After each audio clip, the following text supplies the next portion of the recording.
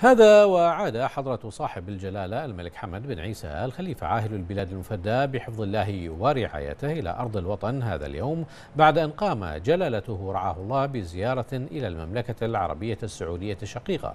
التقى خلالها بأخيه خادم الحرمين الشريفين الملك سلمان بن عبد العزيز آل سعود عاهل المملكة العربية السعودية الشقيقة. أعقبتها زيارة إلى جمهورية مصر العربية التقى خلالها أخيه فخامة الرئيس عبد الفتاح السيسي رئيس جمهورية مصر العربية. حيث أجرى جلالته حفظه الله خلال الزيارتين مباحثات تناولت العلاقات الثنائية التاريخية الوثيقة التي تجمع مملكة البحرين والمملكة العربية السعودية الشقيقة وجمهورية مصر العربية الشقيقة إضافة إلى آخر المستجدات والتطورات الراهنة على الساحتين الإقليمية والعربية والقضايا ذات الاهتمام المشترك.